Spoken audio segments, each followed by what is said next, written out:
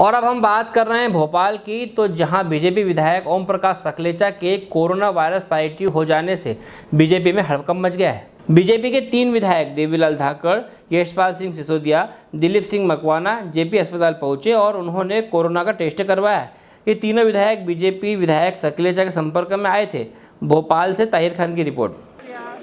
आज हमारे नीमच ज़िले के विधायक भाई ओम प्रकाश सकलेचा जी और उनकी पत्नी पॉजिटिव आई। जब यह समाचार हमको मिला तो हम भी सुविधा की दृष्टि से, सावधानी की दृष्टि से कोरोना की जाँच कराने के लिए यहाँ हमीदिया अस्पताल में यहाँ उपस्थित हैं।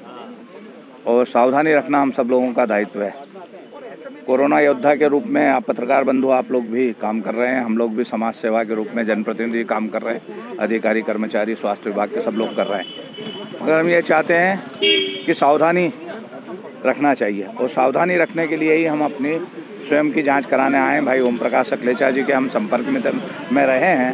और जब उनकी पॉजिटिव जाँच आई है तो हमें भी एकदम चिंता बढ़ी। और इसलिए हम यहाँ सावधानी के लिए जाँच कराने आए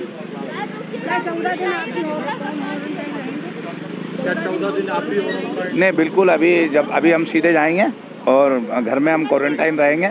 और जाँच रिपोर्ट आने के बाद में यदि जैसा भी हमें डॉक्टर निर्देश देंगे, उसका हम पालन करेंगे।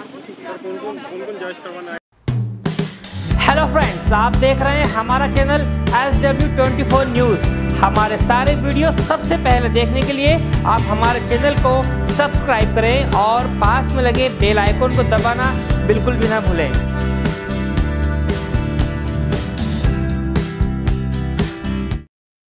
भोपाल